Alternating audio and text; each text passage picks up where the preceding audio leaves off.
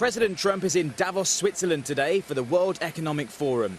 Shortly before takeoff, Mr. Trump held an impromptu press conference with reporters where he insisted his administration's tax cuts and deregulation will make the US more appealing to foreign investors. I'm going to Davos to get them to bring back a lot of money. They're going to invest a lot of money in this country. Treasury Secretary Steve Mnuchin arrived in Davos a day before the president. He surprised many economists by praising a weaker US dollar, claiming it helps with trade. It's really all about economic growth, uh, opportunities to invest, free and fair trade. Some at the conference view Mnuchin's statements and recent US decisions on trade as a sign of protectionism. Leaders from Germany, India and Italy, though, among those urging against such policies. Gavin Ramjohn, CBS News, London.